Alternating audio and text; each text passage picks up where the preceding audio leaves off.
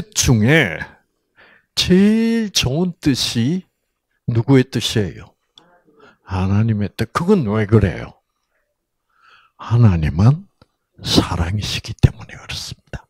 뜻 중에 최고의 뜻은 사랑입니다. 그렇죠? 그런데 어. 그 사랑 중에 최고의 사랑은 하나님의 사랑이에요. 어디에 나타난 사랑이에요? 십자가로 나타난 사랑. 그런 사랑은 우리 인간으로서는 할 수 없는 사랑입니다. 그런 사랑이 무슨 사랑이에요? 누구까지도 사랑하는 사랑? 네, 원수까지도 사랑하는 사랑. 우리는 내가 좋아하는 사람만 사랑하고 별로 안 좋은 사람은 사랑하지 않고 원수는 미워하는 그런 조건적 사랑이다.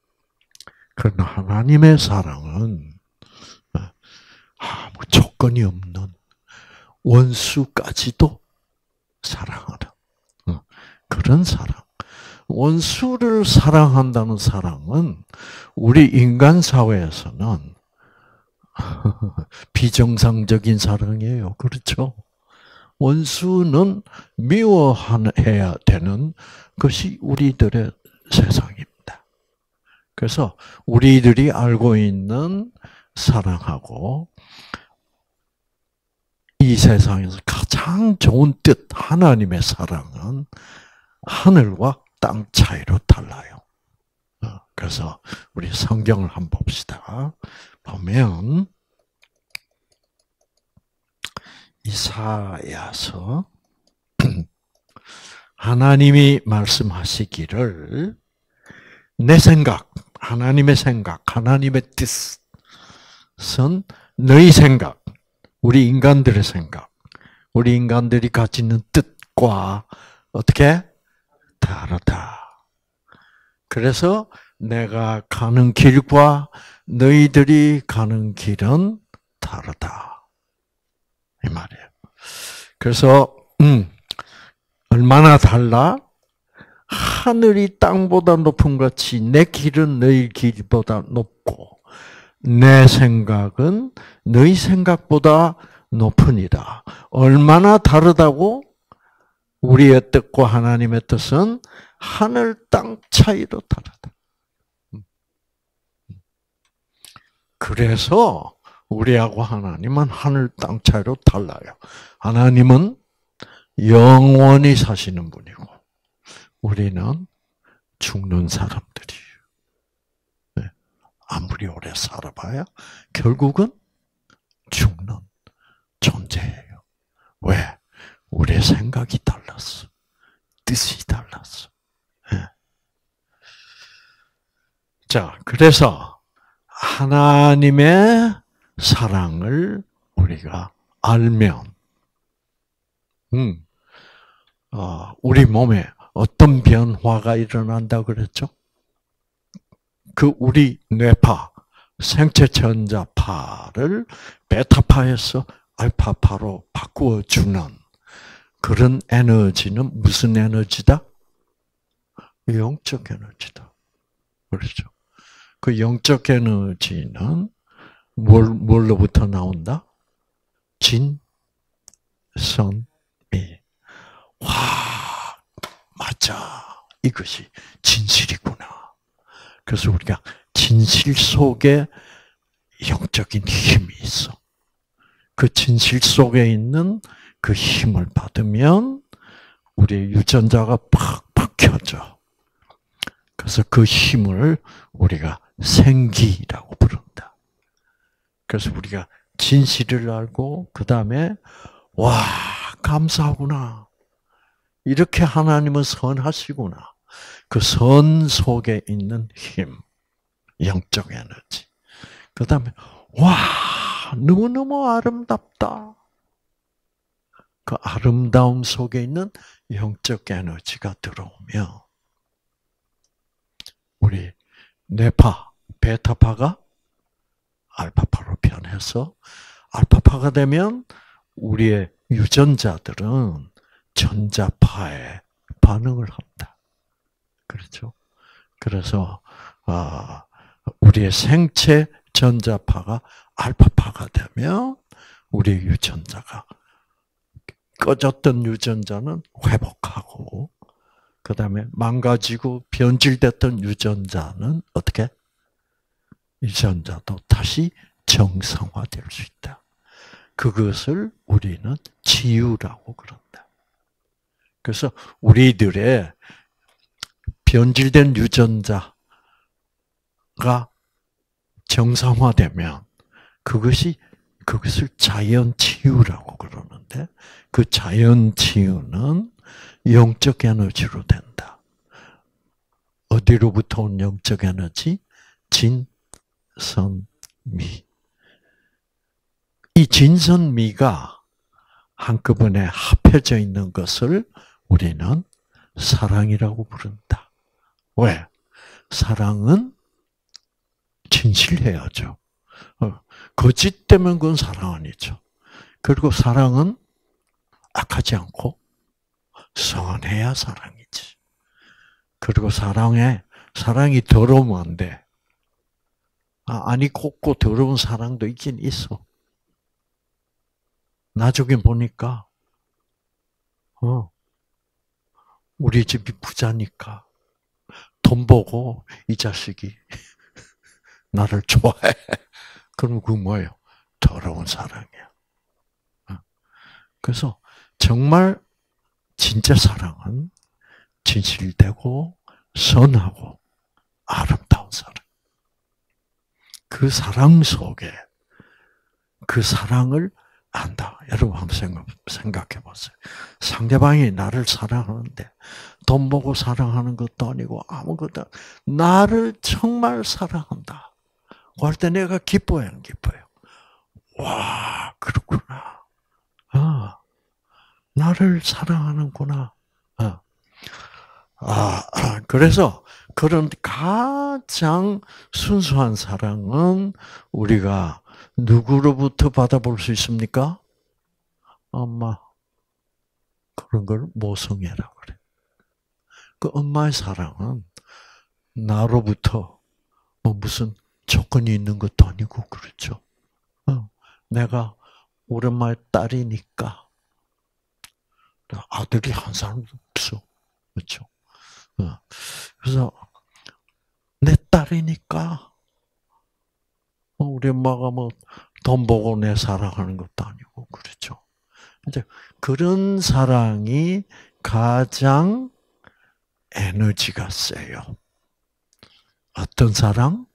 조건 없이 주는 사랑. 그렇죠. 그래서 우리가 아, 이 생기를 받아야 아, 유전자가 아, 알파파로 변하고 알파파를 내 유전자가 받아야 회복되고 그렇죠. 꺼졌던 유전자는 다시 켜지고 어. 이래서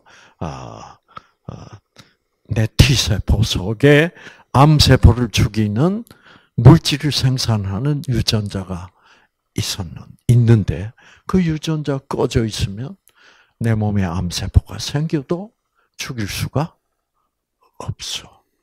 그래서 내가 암 환자가 돼버렸어. 그런데 그 이유는 내가 여러 가지 이유로 기가 막 많이 막혔어. 기가 막힌다는 말은 왜 막혀요? 생기가 막혀버렸어. 왜? 진선미, 사랑이 생기의 본질인데, 내가 무엇을 알면 기가 막혀요. 생기가 막혀. 와, 이 사람이 나를 거짓말로 속였구나. 음, 기가 꽉 막히죠.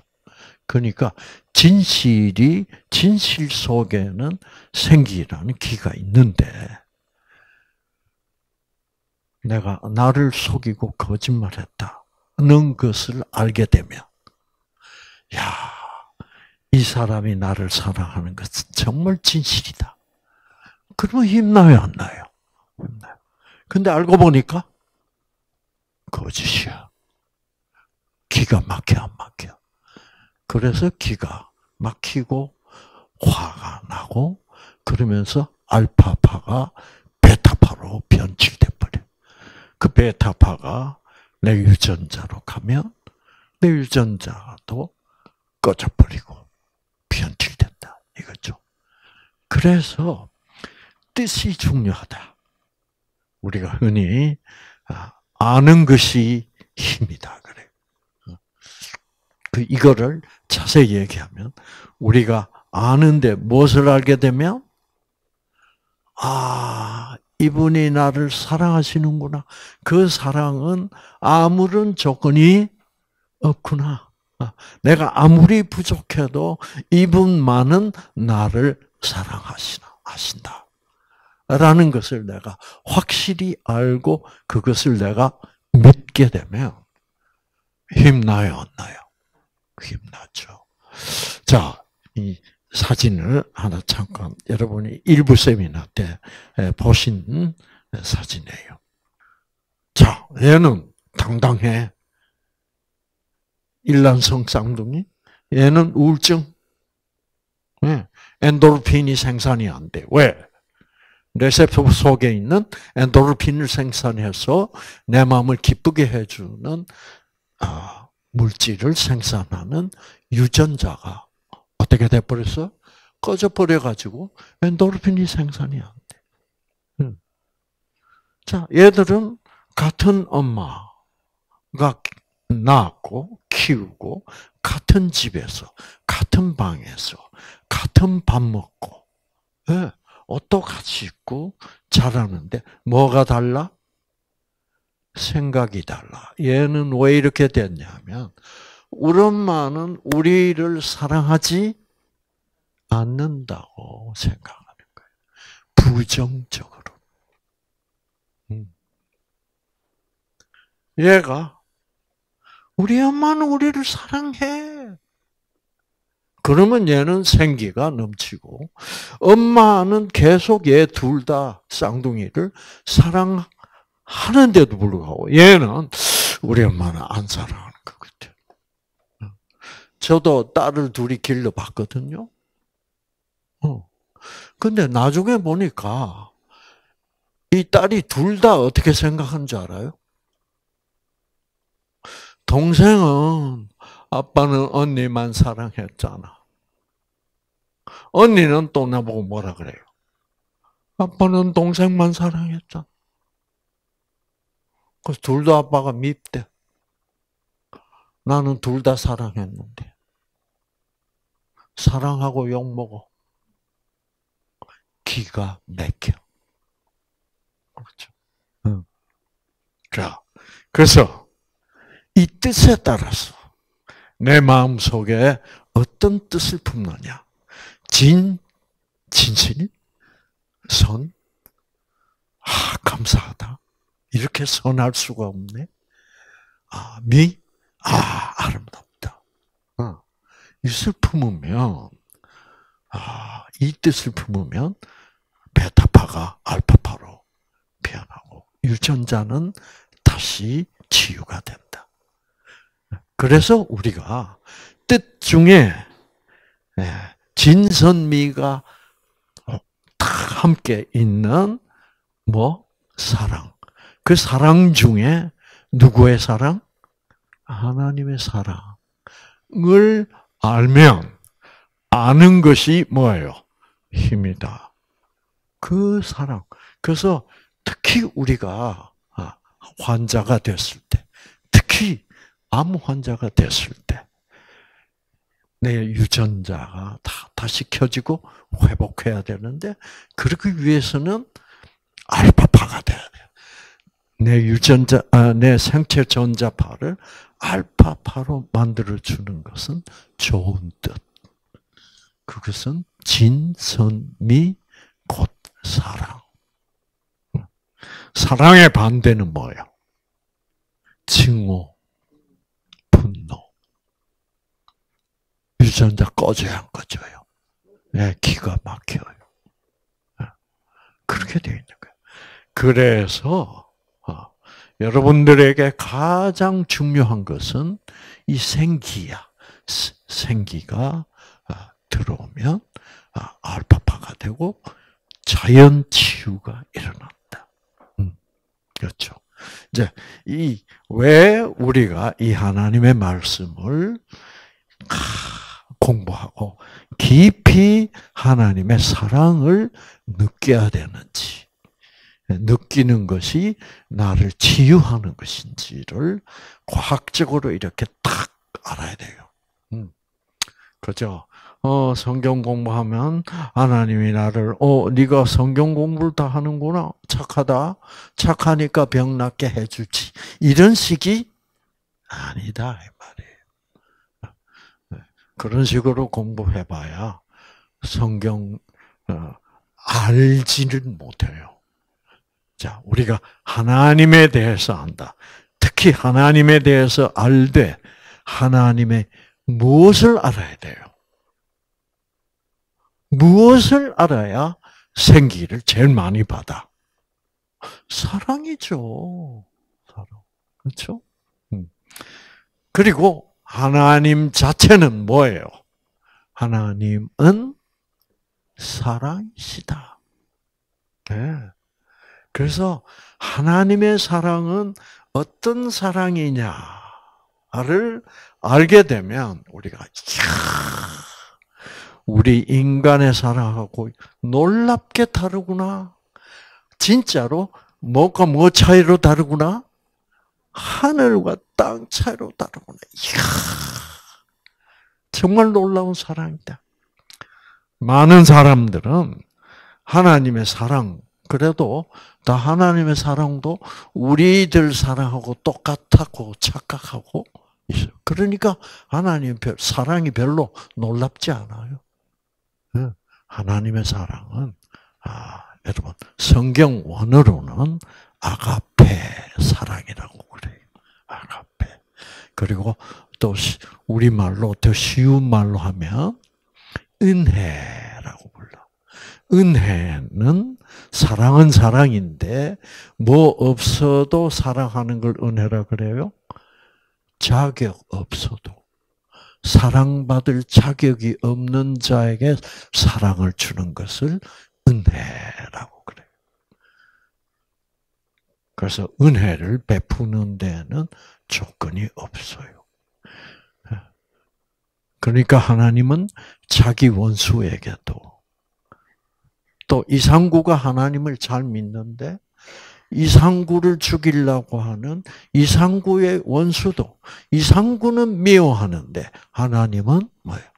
사랑하신다. 이래서 하나님의 사랑과 인간의 사랑은 하늘과 땅 차이로 다르다. 아시겠죠? 음. 그래서 그것이 생기가 되기 때문에 예, 이 생기는 죽은 사람도 예, 살릴 수 있는 예. 그런 무조건적 사랑이다. 예. 그래서 아가페, 은혜. 그래서 실제로 성경을 보면 우리 마음에 안 드는 말이 많아요. 하나님의 사랑은 선한 자나 악한 자나 의로운 자나 불의한 자나 차별하지 아니하고 공정하게 어떻게 주신다.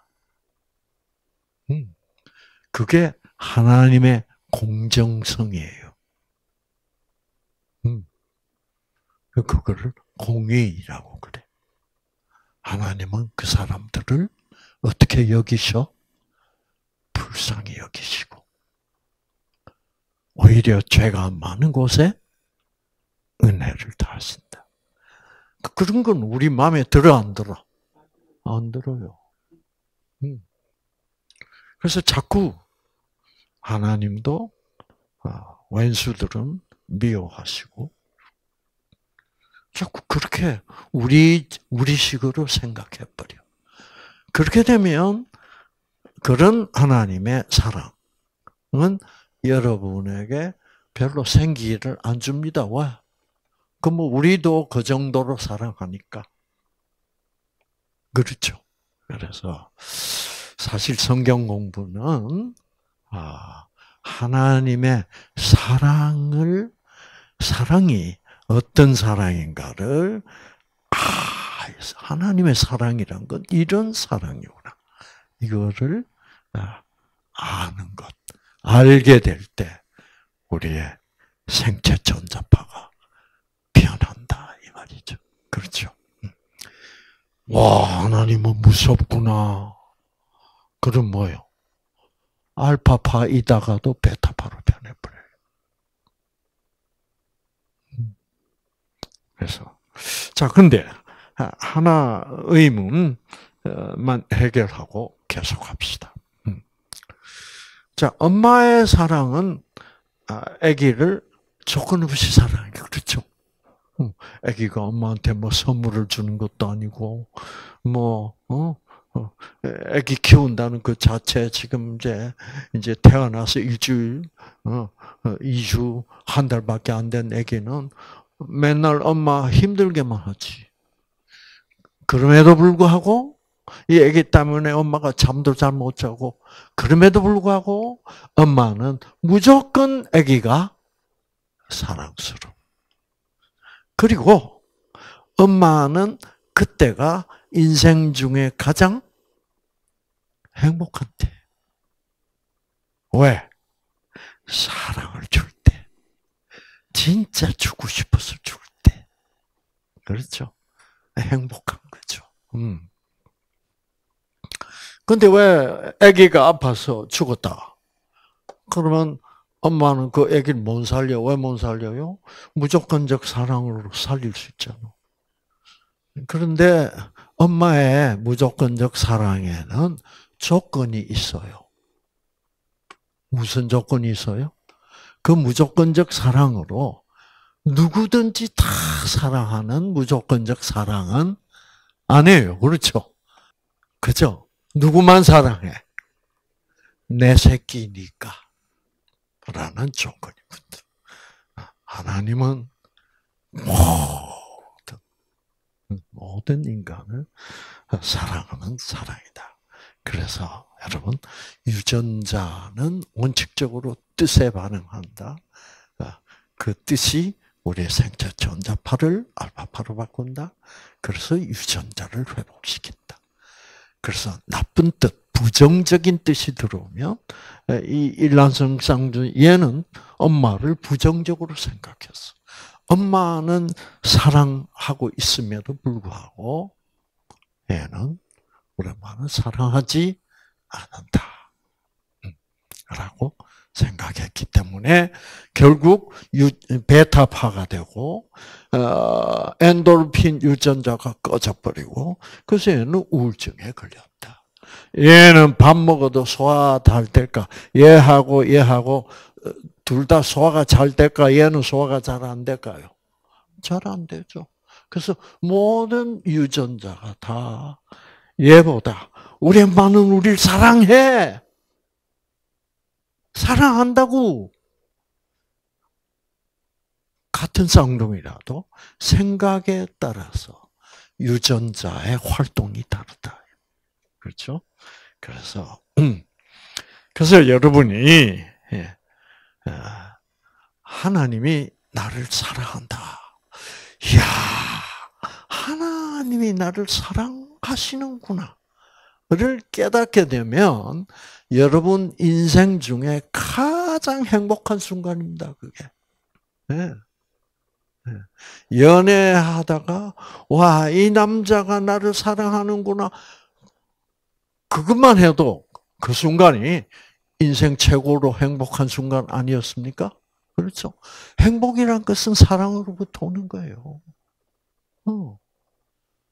그런데 아무리 그 남자가 그렇게 연애할 때 그렇게 나를 사랑하고 행복을 줬더라도 뭐 살아보면 다 알잖아요. 결국 후회하기도 하고 결국 그놈의 남편이 제일 미운 사람이 되고 그렇죠. 그래서 나중에 나이 들면 할머니들이 예, 영감 보고 뭐라 그래요? 이 왼수야. 그래. 그래서 일생을 살아가는 그래서 인간의 사랑은 다 무슨 사랑이기 때문에 조건적으로 살아가기 때문에 결국은 눈물의 씨앗이 되고 말아. 내 속만 상하게. 그러나 절대로 변치 않고 철저히 아무 조건 없이 내가 아무리 나쁜 생각을 하고 나쁜 짓을 하고 하나님의 원수가 될지라도 하나님은 나를 변하지 않고 나를 계속 사랑해 주시. 그래서 그런 하나님이 나를 사랑하는구나라고 진짜 와 그러네. 이 순간이야말로 세상을 다 얻은 것 같아요. 네. 그래서 하나님이 그렇게 나를 사랑하시는구나를 알게 되면 이 유전자가 어떻게 해요? 팍 켜지고 알파파가 되고 그래서 하나님의 사랑이 예, 사랑을 알면 놀라운 치유가 일어난다 이 말이죠. 그렇죠? 그래서 하나님이 하나님의 사랑이 가장 많이 나타난 어, 말씀 성경 속에 하나님의 사랑이 가장 많이 나타나 있는 그 성경에 여러 책이 있습니다. 사랑이 가장 많이 나타나 있는 책이 어느 책이게? 네, 사복음서란 거예요. 왜 그래요? 사복음서에만 예수님이 직접 하신 예수님의 말 자체가 가장 많이 나오는 책이에요. 그래서 예수님은 입만 벌리시면 말씀만 했다 하면 뭐가 나타나는 거죠? 사랑이 나타나는 거다.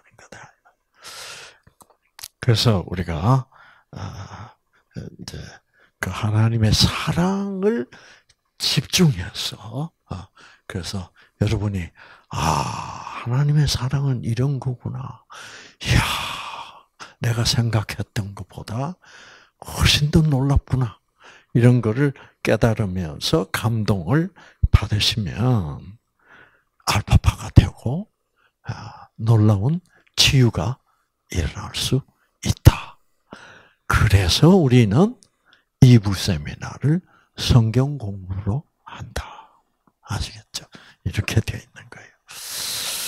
자, 그런데 하나님이 나를 사랑한다는 것을 아 이렇게 하나님 나 사랑 안 하는 것 같아. 그래서 하나님이 사랑이라는 것을 성경은 분명히 그랬거든요. 특히 사도 요한, 사도 요한의 별명이 사랑의 사도죠.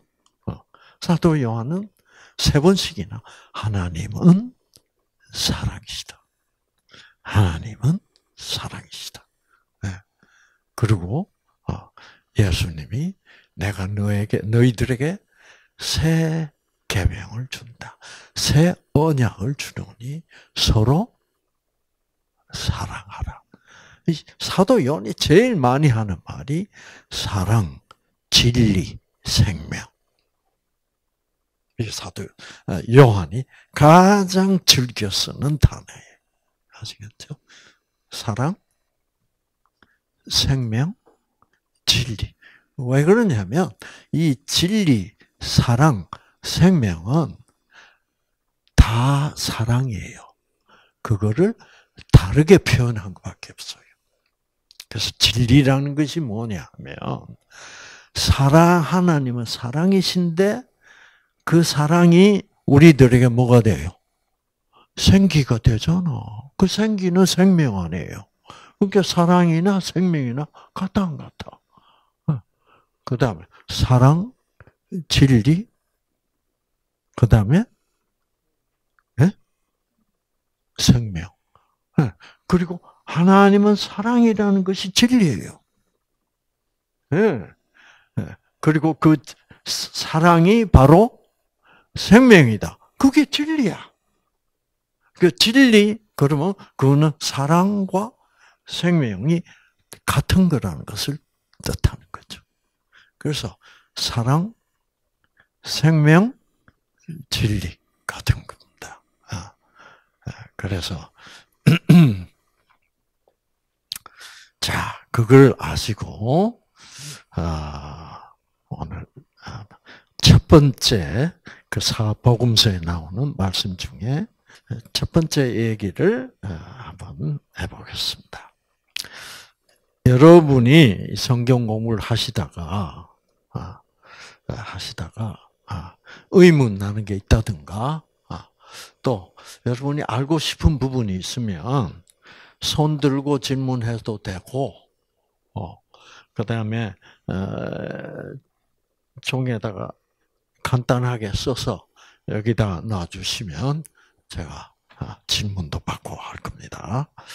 자, 그래서 어, 제가 이걸 끝내고 해야 되겠네요. 하나님이 사랑이라는 것을 알면 그 사랑이 생명이기 때문에 정말 우리 유전자를 다시 살려서 치유하는 이제 그건데. 근데 하나님의 사랑, 하나님은 사랑이다. 라는 것을 우리가 확신하기에 가장 방해가 되는 게 뭐게? 하나님이 무서우면 하나님이 사랑이다라는 게 느껴져야 안 느껴져? 어. 아니, 어, 여러분, 어. 시어머니가 여러분한테 막 무섭게 하는데 그 시어머니가 어, 남편이 나한테 얘기하기를 우리 어머니 너 참 사랑해. 믿어줘, 믿어줘. 그래서 두려움과 사랑은 같이 못 갑니다. 아시겠죠? 그래서 하나님 무서워. 그러면 하나님이 사랑한다는 것이 느껴지지가 않아요. 예. 사랑을 하려면 뭐가 없어져야 돼? 하나님을 사랑하려면 하나님에 대한 두려움이 없어져야 돼요. 아시겠죠? 아. 자, 그러면 이제 우리가 하나님의 사랑을 그 사랑이신 하나님 우리가 방금 배웠습니다. 하나님의 사랑은 원수도 사랑하는 사랑. 그렇죠? 어. 내가 악해도 사랑해. 어. 내가 불의해도 사랑해. 자, 그 말씀 중요하니까 우리가 어, 눈으로도 확인하고 갑시다. 너희 내가 나는 너희에게 이르노니 너희 원수를 사랑하며 너희를 핍박하는 자를 위하여 기도하라. 아, 우리는 안 되죠. 예. 자, 그 다음에 하나님이 그 해를 햇빛을 악인과 선인에게 비치게 하시며 선인에게만 비치신다 안 했죠? 그렇죠? 그래서 눈으로 확인해야 돼. 예, 하시면 또 비를 그 당시에는 그 지역에서는 비 온다는 게 그렇게 고마울 수가 없어. 그러니까 해와 아, 비는 사실은 하나님의 사랑, 성령의 비, 예, 예, 성령의 단비 이런 말 있잖아요, 그렇죠? 어, 그, 그 사랑 이거는 그 비도 의로운 자와 또 누구에게도 의롭지 않는 자에게도 내리신다. 음. 우리 마음에는 안 들어 별로. 음. 그러나 어떤 경우에 우리는 이 말씀이 필요해요. 이런 사랑이 필요해. 우리가 넘어졌을 때, 우리가 목사 발랐을 때, 와, 내가 이렇게 악할 수가 라는 것이 드러났을 때, 그때 우리는 이 하나님의 사랑, 그래도 온 세상은 나를 악한 놈이라고 그래도 나는 누구에게는 희망을 걸 수 있어요? 하나님은 나를 사랑한다. 그래서 내가 죽지 않고 자살하지 않고 다시 살아 있을 수 있어. 그렇죠? 그래서 그래서 이 이런 사랑이 어떤 사랑이에요? 무조건적 사랑이다. 어. 자, 그 다음에 로마서 보면 죄가 더한 곳에 은혜가 뭐요? 더욱 넘친다. 음. 우리 상식으로는 이 말도 안 돼요. 음. 죄가 더하면 뭐를 더 줘야 돼? 벌을 더 줘야 되지. 그거는 우리들의 사랑이 그래. 하나님의 사랑은 어떻게? 죄가 많을수록. 그 제가 얘기 드렸잖아요. 우리 딸이, 큰 딸이, 네? 동생 얼굴 자꾸 핥혀. 그러면 죄를 많이 져. 그래서 제가 어떻게 했다고요? 죄가 많은 곳에 벌을 더 줬어. 그러고서 얘는 맨날 속마음이 막 동생도 믿고 아빠도 믿고 그래가지고 매일 속에서 막 분노가 끓어오르고 아빠에 대한 증오심 끓어오르고 그래서 마약까지 했다.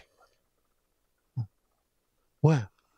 그렇게 했을 때 이 아빠가 더 사랑해 줬으면 예, 됐을 텐데 죄가 많은 곳에 벌을 더 많이 줬다고. 어, 그래서 여러분 우리가 요한 일서 어, 하나님이 두렵다는 것이 우리로 하여금 하나님은 나를 사랑한다는 마음을 가지기가 가지는 것을 방해하는 것 중에 제일 강한 거예요. 하나님 무섭다. 그건 왜? 두려움은 뭐 때문에 생기는 거예요? 내가 나쁜 짓을 하면 하나님이 뭐예요? 벌 준다. 그거는 조건적. 우리들이 생각하는 사람이지. 그래서 많은 우리들, 인간들이 지금 하나님을 사랑한다고 하면서 가만 보면 진짜 하나님을 사랑, 하나님의 사랑에 대해 자신이 없어. 그 이유는 하나님은 우리들처럼 내 말 안 들으면 우리는 상대방을 뭐예요? 미워하고 벌 주잖아. 그런데 사람들이 하나님을 사랑한다고 입으로는 그러지만은 하나님도 우리 인간들처럼 하나님 말 안 들으면 뭐예요? 벌 준다라는 생각을 하고 있어. 그러니까 하나님을 사랑한다고 뭐 교회에서는 얘기해도 진짜로 하나님이 날 사랑하시는 분이라고 느끼고 행복을 느끼는 사람들은 찾아보기가 힘들어요. 그래서 음, 여기 보시면 어, 그래서 저는 이 요한 1서 4장 18절이 참 중요한 말씀이라고 그래요. 하나님의 사랑 안에는 두려움이 없다. 어, 하나님의 사랑에는 두려움이 없죠. 왜? 죄가 많은 곳에 뭐예요? 은혜를 더하니까. 악한 자에게도 비를 내리고. 그러니 하나님은 예, 너희들 나를 두려워할 필요가 없다. 나는 너희들이 생각하는 그런 벌 주는 하나님이 아니야. 그래서 두려움은 항상 뭐, 무엇에 따라와요? 형벌. 하나님은 형벌 주시는 분이다. 왜? 말 안 들을 때는, 나쁜 짓 할 때는 형벌 주시는 분이다라고 생각하면 하나님은 두려울 수밖에 없다. 그렇게 생각을 하는 한, 하나 님을 믿으면서 두려워, 어, 두려움이 없어지고, 와, 우리 하나님 나를 진짜로 사랑해. 이런 마음을 가질 수가 없다. 그래서 사람들이 사도 요한의 말은 여러분들이 하나님의 사랑을 진짜로 알면 진짜로 그 무조건적 사랑을 알면 십자가에서 구원하신 그 사랑은 이 세상에 태어났던 모든 사람을 향한 거거든요. 네. 그래서 하나님은 결국 인간이 받아야 될 벌을 십자가에서 인간 대신 누가 받아버린 겁니까? 에, 예, 자기가 받아버린 거예요. 그것을 우리가 진짜로 깨달으면 내가 나쁜 짓 했을 때 두렵겠습니까? 아, 고맙죠. 이런 나 같은 놈도 어.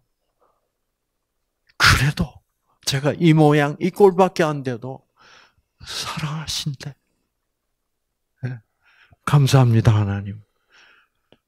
저한테 희망을 주시고 그러면 다시 시작하지요. 이렇게 되는 거예요. 사랑을 줄 때만 우리가 뭐를 할 수 있어?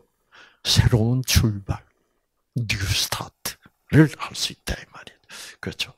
그래서 보시면 그래서 사도 요한은 하나님의 사랑 안에는 두려움이 뭐예요? 없다. 그리고 여러분들이 마음속에 하나님에 대한 사랑이 있다면 어떻게 하면 돼? 그 하나님의 사랑, 온전한 사랑을 알게 되면 여러분들이 가지고 계셨던 마음속에 가지고 계셨던 하나님에 대한 두려움을 어떻게 내쫓아 버린다. 맞아요, 맞아요. 그리고 자, 그건 뭐냐 하면 우리가 하나님을 두려워하는 두려움을 가지는 이유는 뭐 때문이라? 형벌 때문이라. 그래서 이 번역은 참 나쁜 번역입니다. 그래서 이 번역을 참 보니까 어, 공동 번역이 잘 해놨어요. 하나님에 대한 두려움은 하나님이 우리가 잘못했을 때 징벌을 주시는 분, 형벌을 주신 분으로 생각할 때 생기는 것이다. 아, 자, 형벌을 준다고 하면 그건 무슨 사랑이에요? 조건적 사랑. 그렇죠? 왜 말 안 들었어? 죽고 싶어? 어, 죽이진 않겠지만 벌 주는. 자, 여러분. 벌이라는 거. 그러니까 무조건적 사랑 안에는 벌이라는 것이 있을 수가 없습니다. 예. 이게 이제 참 제가 어려움을 겪는 부분이에요. 어. 아니, 벌을 안 주신다고요? 이제 이렇게 얘기하는 거예요. 대부분의 하나님을 공부하고 싶어 하는 사람들. 그 나쁜 짓 했는데 벌을 안 준대. 말도 안 돼. 하나님은 벌을 주실 수가 없어요. 어, 여러분. 잘 들어보세요. 이것에 대한 확신이 필요합니다. 자, 모든 죄에는 뭐가 따라요? 벌이 따릅니다. 그 벌은, 궁극적인 벌은 뭘로 끝나요? 죽음. 그래서 죄의 싹은 사망이야. 아, 자, 여러분. 아빠가 아들을 그렇게 사랑해. 근데 이놈의 자식이 자꾸 담배 피우고 술 먹어. 아빠 말 듣고 술 끊고 담배 끊어야 돼. 그리고 건강식을 해야지. 그리고 뉴스타트, 아, 저는 싫어요. 저는 술이 좋아요. 아빠 말 안 들어. 그러다가 술 때문에 간암에 걸렸어. 그러면 그게 아빠가, 아, 아들이 아빠 말 안 듣고 술 자꾸 먹는다고 아빠가 간암 걸리게 한 거예요? 아니지. 아빠 말 안 들었던 그 결과로 간암이 생긴 거지. 모든 벌은 그거예요. 아시겠죠? 무조건적 사랑의 하나님이 무슨 벌을 주시겠어요? 어, 벌이란 것은 우리들이 이미 선택한 겁니다. 예를 들어서 에덴의 동산에서부터 아담과 이브가 죄를 지었어. 하나님 말 안 들었어. 네. 하나님 말 안 들었어. 그래가지고, 어, 영원히 살 수 있는 인간이 어떻게 돼버렸어요? 죽어버리는 인간이 돼버린 거야. 그것은 하나님으로부터 어떻게? 예, 하나, 하나님의 무조건적 사랑을, 사랑보다는 사단이, 뱀이 가르치는 그게 옳다고 생각해요. 그래서 그 선악과 나무 열매를 따먹기 전에는 아담과 이브는 하나님에 대한 두려움이 전혀 없었어. 그래서 하나님이 방문하시는 그 인기척 소리만 나면 아담 기분은 어떻게 할게? 와 하나님 오신다 하나님. 어? 마치 어? 어, 꼬맹이들이 아빠가 퇴근하는 시간 기다리다 아빠 차가 탁 도착한 소리가 나면 아빠 왔다 하듯이 아빠를 아빠에 대한 두려움이 하나도 없었어. 그런데 사단은 뭘 가르친 거예요? 어, 네.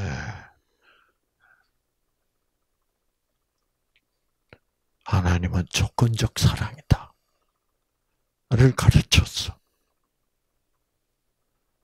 그래 놨더니 먹지 말란 거를 따먹고 나니까 하나님이 두려워져야 안 두려워져? 두려워지죠. 아, 왜? 조건적 사랑은 벌 주잖아. 그렇죠. 어. 네, 어, 사단이 어떻게 아담과 이브로 하여금 하나님의 사랑이 조건적 사랑이라고 생각하도록 꼬셨는가 하는 것은 창세기 3장을 공부를 탁 해본 거에 나타납니다. 그 하여튼 따먹지 하나님이 따먹지 말란 걸 따먹고서 하나님 말 안 들었거든. 그런데 벌써 아담과 이브는 아 이렇게 하지 말란 짓을 했으니까 하나님이 벌 주실 거야라고 생각한 거예요. 그러니까 숨자 이렇게 된 거죠. 하나님을 하나님의 사랑을 조건적인 사랑이라고 생각하면 우리는 우리가 하나님 말 안 들었을 때 벌 주시지. 이렇게 되는 거예요. 어, 그래서 두려움이 생긴다. 그러나 다시 우리가 와 하나님의 사랑은 정말 무조건적 사랑이구나를 다시 깨달으면 우리의 두려움, 그 온전한 사랑이 두려움을 내어 쫓는다 이 말이죠. 자, 그래서 어, 그래서 우리들의 벌은 여러분 사실은 우리가 자초한 거예요. 그렇죠? 하나님을 떠났다는 것 자체가 뭐예요? 하나님을 떠났다는 말은 무슨 말이에요? 하나님을 떠났다는 말은 하나님의 사랑이 무조건적 사랑이 아니다. 하나님도 무슨 사랑이다? 조건적 사랑이다. 그러면 우리는 하나님 무서워지기 시작하고 유전자는 꺼지기 시작하는 거죠. 그렇죠. 그래서 우리는 이미 무조건적 사랑이야말로 네. 무조건적 사랑이야말로 뭔데 이것이 생기 생명이야 생기인데 네. 이 무조건적 사랑을 거부해버리면 뭐를 거부하는 거예요? 생기를 거부하는 거야. 그러면 우리 유전자는 꺼지게 돼 있어. 이것이 내가 하나님을 거부한, 즉 죄를 범한 결과로 나타나는. 그래서 내, 내가 하나님의 무조건적 사랑이 아니야. 하나님은 우리를 벌 주실 거야. 라고 하나님의 사랑에 대한 뭐예요? 오해. 때문에 하나님의 무조건적 사랑을 받을 수가 없게 돼서 내 유전자가 꺼지면서 네. 베타파가 되고 유전자 꺼지면서 병이 생기고 고통이 생기는 거다 이 말이에요. 그렇죠? 그래서 어, 그래서 이거를 이것이 치유가 되려면 어떻게 되면 돼? 와 하나님은 내가 두려워해야 될 대상이 아니구나. 음.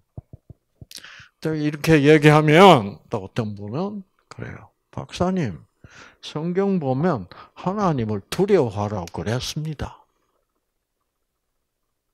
왜 성경이 그럴까요? 여기 보면 두려워하지 말라 그래 놓고 또 다른 데 보면 뭐예요? 하나님을 두려워하라 그래요. 응. 그는 무슨 소리야? 그래서 이제 성경에 익숙하지 못하면 아 이게 헷갈려서 죽겠는 거예요.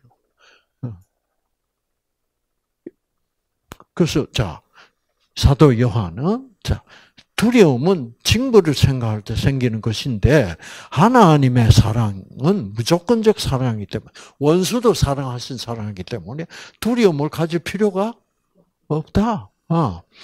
자 그러므로 사도 요한 얘기입니다. 두려움을 마음속에 아직도 품고 있는 사람은 아직도 그 하나님의 무조건적 사랑을 마음속에서 뭐요? 완성하지 못한 사람입니다. 그런 사람이 계속 하나님을 무서워합니다. 음, 그렇죠? 그러면 두려워하란 말 무슨 말일까? 자, 천사가 와서 너희는 하나님을 두려워하고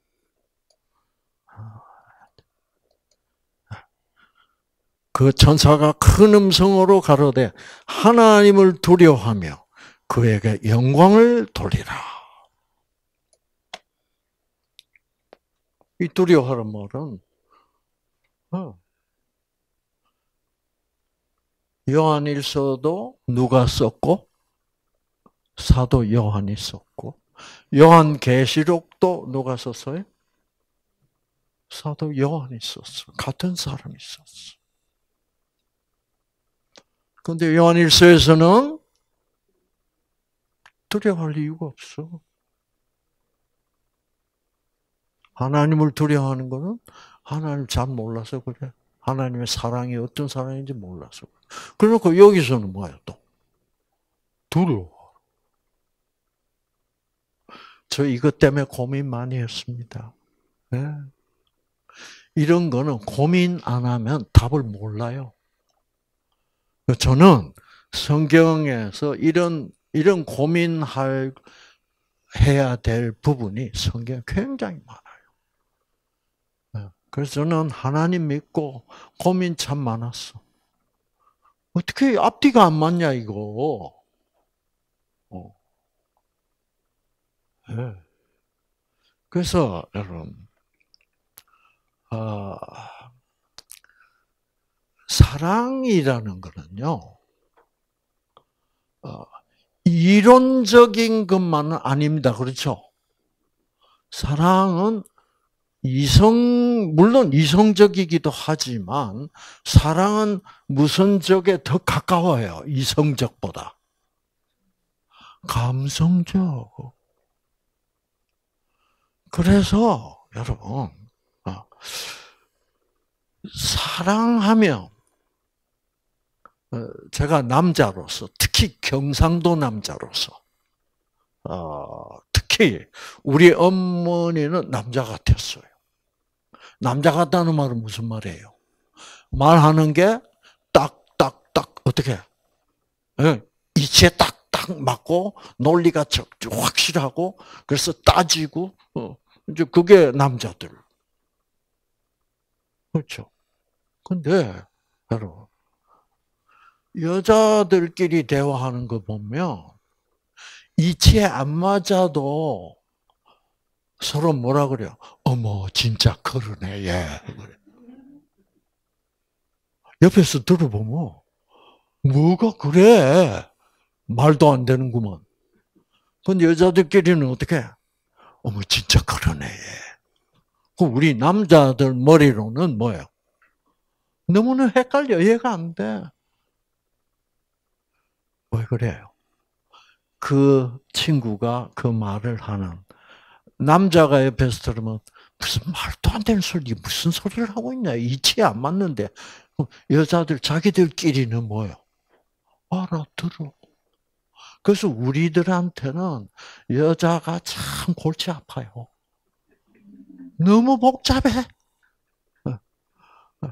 그래서 와 어떤 때 뭐, 뭐, 무슨 말을 이 무슨 뜻으로 이런 말을 하는지 어떤 때는 겁이 나기도 하고 그래요. 이러다 잘못 오해했다간 뭐야 또 혼쭐 터질까봐. 음. 자, 자 여기서 하나님을 두려워요. 이거 가지고 제가 얼마나 고민을 했는지 몰라요. 앞뒤가 안 맞는다. 자, 감성적 표현은 앞뒤가 안 맞을 수도 있습니다. 앞뒤가 안 맞아도 같은 말일 수 있어요. 그렇죠.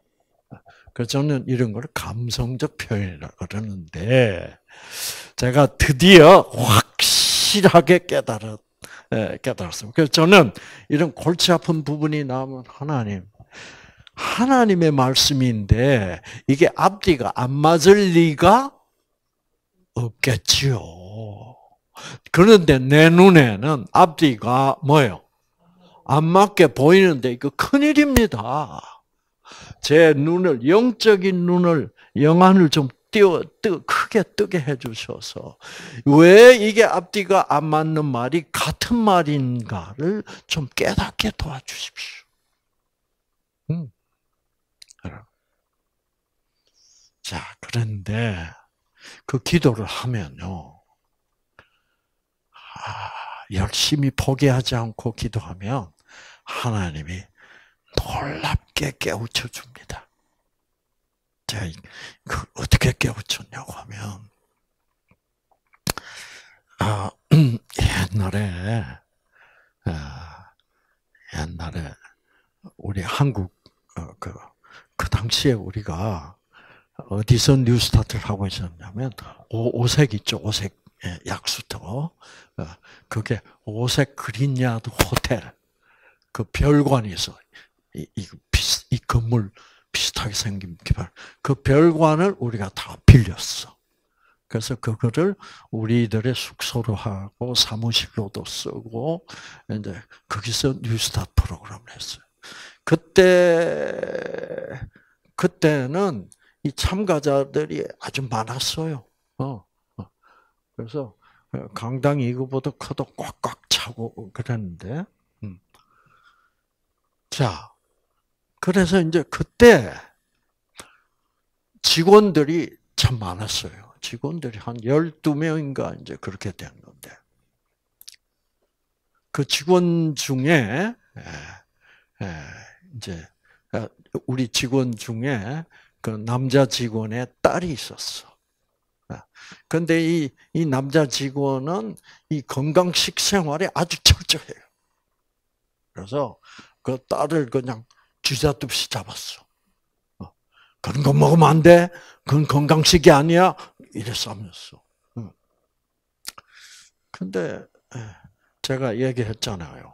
어, 우리 어머니가 제가 한국 나와서 뉴스타트 프로그램 할 때마다 오셔. 오실 때 선물로 꼭 뭐를 사다 주신다고? 예, 밀크 캐러멜을 사다 주셔. 응. 근데 그 밀크 캐러멜은 건강식이 아니다. 그러나 건강식이다. 그렇죠. 어. 그게 중요한 거예요. 그래서 이제 주로 어, 이제 오전 강의하고 어, 이제 참가자들하고 산책 나갔다가 어, 이제 들어와서 샤워하고 점심 먹고 또 이제 상담하고 그러면 오후쯤 되면 출출해. 예. 배고프고 그럴 때 이제 캐러멜을 한개두개 까먹으면 딱 좋아요. 근데 한 번은 그 캐러멜을 딱 이제 입에 넣고 음 맛있다. 우리 어머니 사랑을 느끼면서 알파파가 돼요, 안 돼요? 하면서 음 맛있다. 이렇게 하고 있는데 누가 문을 똑똑 두드려. 두드리는데 예, 문을 열어보니까 할아버지 그래. 누구냐면 그 직원 딸이야. 과자 얻어 먹는 게 너무 너무 어려워. 그렇게 얼마나 먹고 싶겠어. 어? 그때가 걔가 다섯 살 됐는데요. 응. 어, 어, 할아버지 놀러 왔어요. 응, 들어와. 어, 저는 이거 계속 씹을 수도 없고 안 씹을 수도 없고.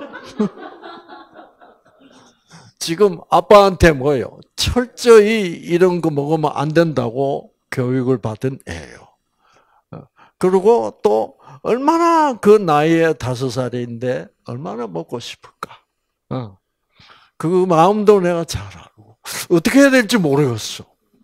음. 근데 요게 예원이가 이름이 예원이에요. 예원이가 할아버지 왜 너무 너무 너무 너무 좋은 냄새가 나요.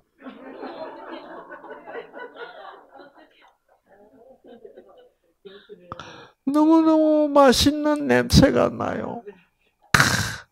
역시 여자들은 어릴 때부터 달라. 맞아. 예. 남자애라서면 어떻게 할게? 할아버지 뭐 먹어? 예. 직선적으로 나왔을 텐데 여자들은 그 어릴 때부터 둘러서 얘기하더라고. 너무너무 좋은 냄새가 나요, 할아버지. 와. 어, 아무것도 아니야. 그럴 수가? 없어. 음, 그래서 제가 캐러멜을 통을 꺼내 가지고 이거 한번 할머니, 아, 아 할아버지의 엄마가 부산서 오시면서 이거를 내가 어릴 때 참 맛있게 먹었거든. 그 우리 엄마가 사다 준 거야. 음.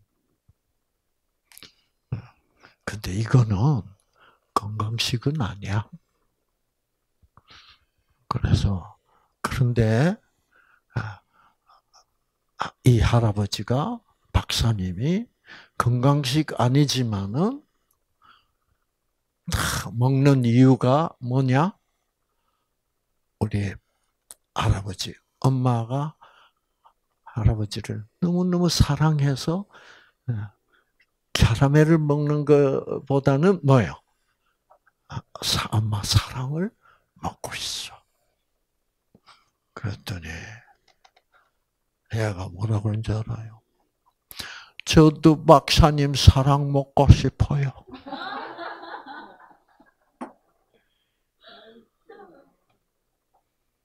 안 돼. 그럴 수 있어요, 없어요? 그럴 수 없어. 그래서 한 개를 탁 주니까요. 가서 입에 탁 넣더니 할아버지 막 눈물이 날라 그래. 아우 예, 너무 맛있어요. 한 개만 더 주시면 안 돼요.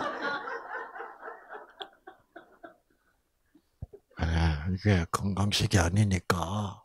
응? 아, 오늘은 한 개만 먹고, 아, 내일 말고, 어? 모레. 그래서 오늘 밤 자고, 또 하룻밤 더 자고, 모레 한 개 더 줄게.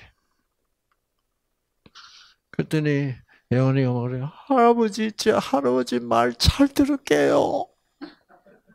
꼭 주셔야 돼요. 예원이가 그때부터 말을 얼마나 잘 듣는지, 음.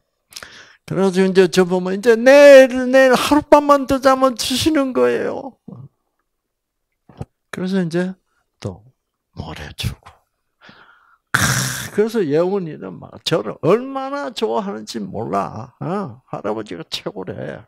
응. 그래서 어, 아, 막 행복하게 짝이 없어. 어, 그러다가 이제 여러분 어떻게 됐냐면 한 번은 이제 세미나 끝나는 날이야. 끝나고 바로 짐 싸가지고 또 외국으로 가야 돼. 인천공항으로 빨리빨리 가야 돼. 예. 그럼 막 후닥닥후닥닥 바쁘게 짐을 싸고 있는데 애원이가 찾아왔어. 오늘이 카라멜 먹는 날이래. 그래서 딱 보니까 이제 두 각인데 그 주는 제가 하나도 안 먹고 예언이만 줬어.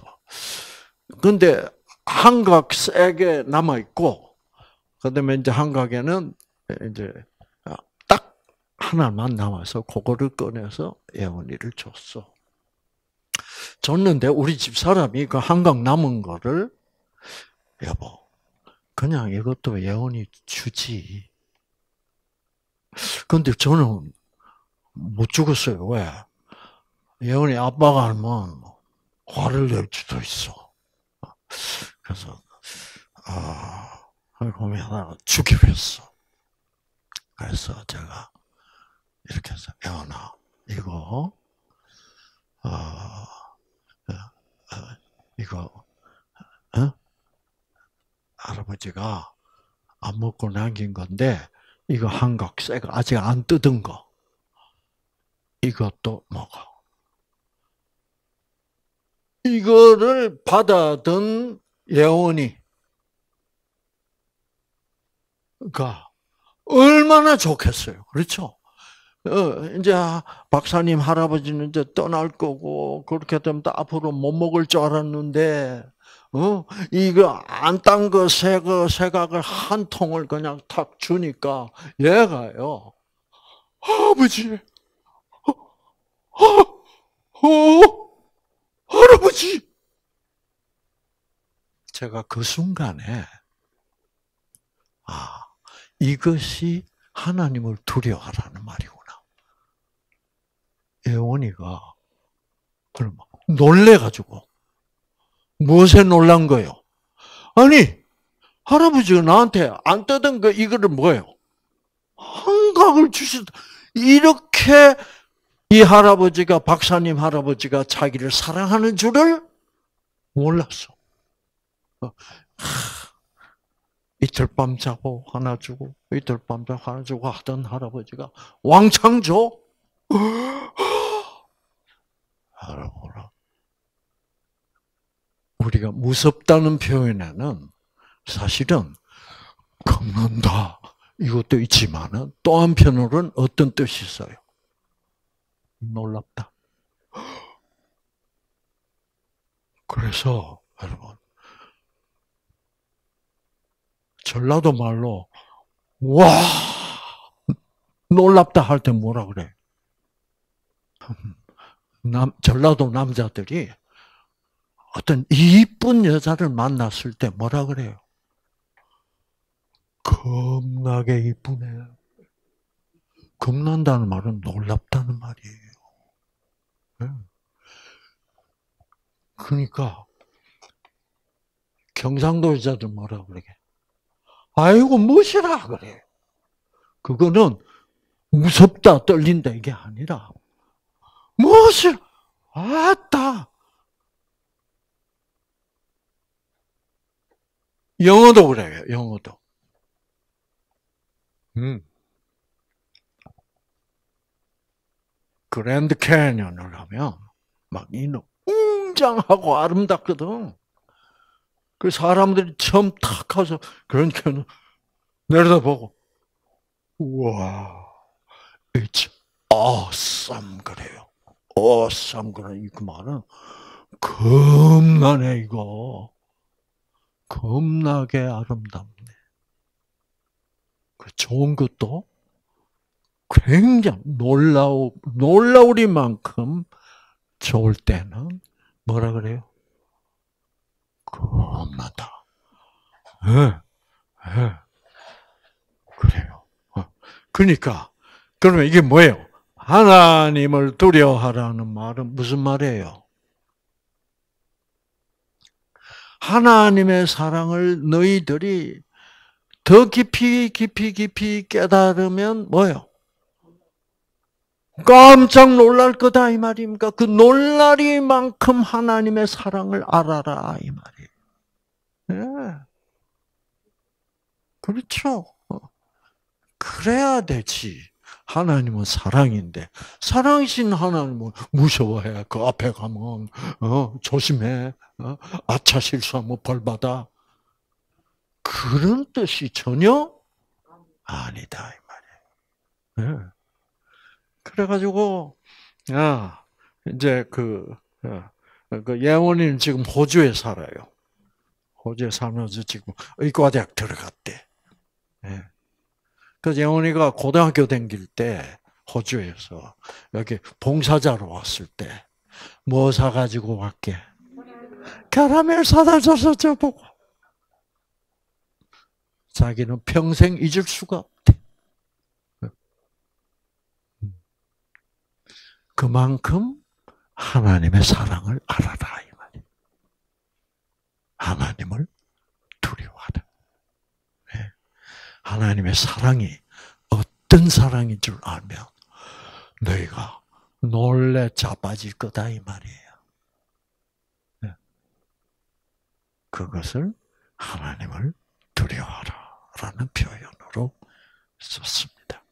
아시겠죠? 그래서 음.